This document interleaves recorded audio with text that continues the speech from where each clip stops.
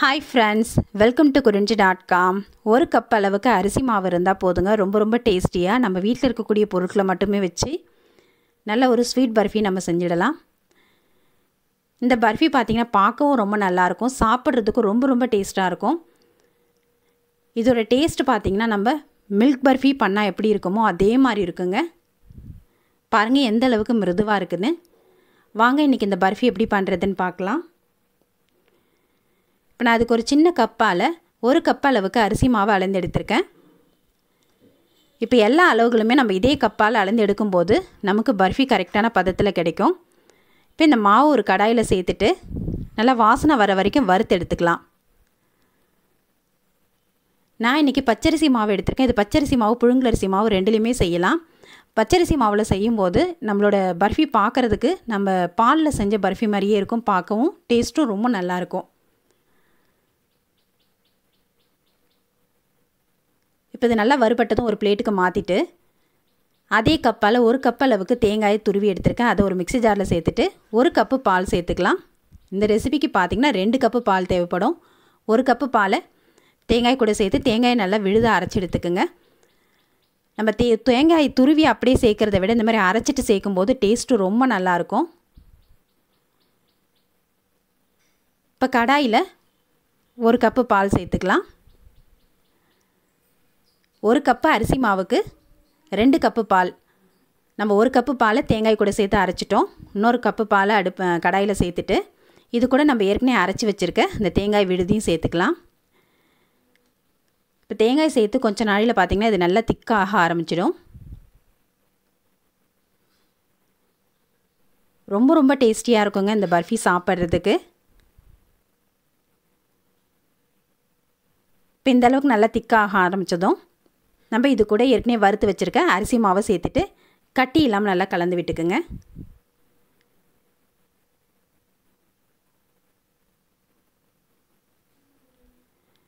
அரிசி மாவு நல்லா ஒரு முக்கால் பதம் வெந்ததுக்கு அப்புறமா நம்ம சர்க்கரை சேர்த்துக்கலாம். நீங்கள் இந்த சர்க்கரைக்கு பதிலாக நாட்டு சர்க்கரை அப்படி இல்லைனா வெல்லம் கூட சேர்த்துக்கலாம். உங்களுக்கு எந்த டேஸ்ட்டு பிடிக்குதோ அதை சேர்த்துக்கலாம்.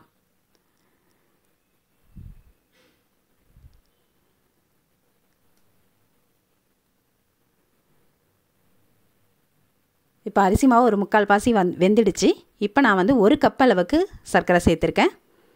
இந்த அளவுக்கு சர்க்கரை சேர்க்கும்போது இனிப்பு கரெக்டாக இருக்கும். உங்களுக்கு இனிப்பு இன்னும் கொஞ்சம் தூக்கலாக தேவைன்னா கால் கப் அளவுக்கு சர்க்கரை கூட கூட சேர்த்துக்கலாம். இப்போ சர்க்கரை சேர்த்த உடனே இந்த அரிசி மாவு பார்த்திங்கன்னா கொஞ்சம் இலகி கொடுக்கும். நல்லா கலந்து விட்டுக்கிட்டே இருங்க. நல்ல ஒரு வாசனையாக இருக்கும் இது. இந்த தேங்காய் பால் தேங்காய் பால் இதெல்லாம் சேர்ந்து அவ்வளோ ஒரு வாசனையாக டேஸ்ட்டாக இருக்கும் இந்த பர்ஃபி.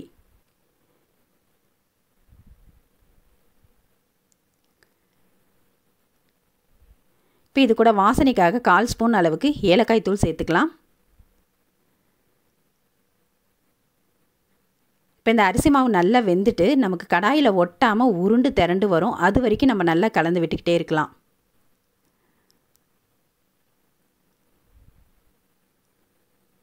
இது பார்க்குறதுக்கும் நம்ம பால்கோவா கலர்ற மாதிரியே இருக்கும். அந்த டேஸ்ட்டும் பார்த்திங்கன்னா அப்படியே இருக்கும். ஆனால் ரொம்ப சிம்பிளாக நம்ம அரிசி மாவு மட்டுமே வச்சு இந்த ரெசிபி பண்ணியிருக்கோம். லாஸ்ட்டாக இது கூட நல்ல ஒரு வாசனையும் டேஸ்ட்டும் கிடைக்கிறதுக்காக ரெண்டு ஸ்பூன் அளவுக்கு நெய் சேர்த்துக்கலாம். இது ஆப்ஷனல் தான். உங்களுக்கு தேவையில்லைன்னா நீங்கள் இதை சேர்க்காமலே கூட ரெடி பண்ணிக்கலாம்.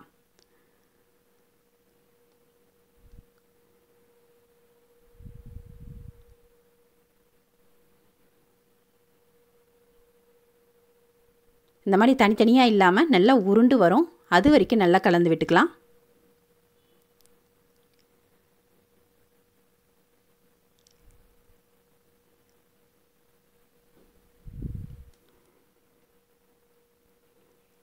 இப்போ இது ரெடி ஆகிட்டு இருக்க டைமில் நம்ம ஒரு பிளேட்டில் கொஞ்சமாக நெய் தடவி வச்சிட்டோம்னா இது ரெடியான உடனே நம்ம அந்த பிளேட்டில் சேர்த்துட்டு சமன்படுத்தி விட்டுக்கலாம்.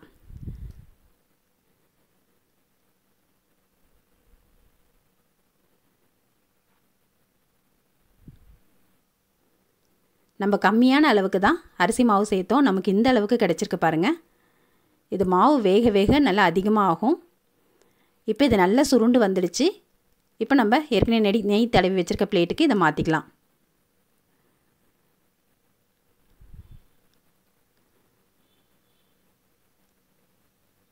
இந்த மாதிரி ஒரு கரண்டி எடுத்துகிட்டு கொஞ்சமாக நெய்யோ அல்லது எண்ணெயோ தடவிக்கிட்டு சமன்படுத்தி விட்டுக்குங்க. சமன்படுத்திட்டு இதுக்கு மேலே அழகுக்காக கொஞ்சமாக பிஸ்தாவை பொடி பண்ணி சேர்த்துருக்கேன். இது ஆப்ஷனல் தான். நீங்கள் இதுக்கு மேலே முந்திரி பாதாம் எது வேணால் வச்சுக்கலாம். டூட்டி ஃப்ரூட்டி போட்டு கொடுத்தாலும் பார்க்க ரொம்ப நல்லாயிருக்கும் ஒரு பத்து நிமிஷம் அப்படியே விட்டுடுங்க. நல்லா ஆறட்டும்.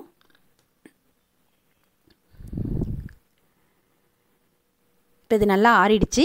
இதுக்கப்புறம் நமக்கு இதை எந்த ஷேப்பில் வேணாலும் கட் பண்ணி எடுத்துக்கலாம்.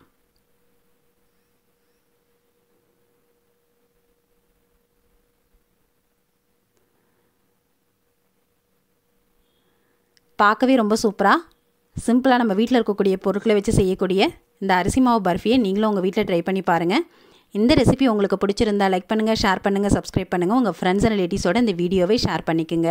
நன்றி வணக்கம்.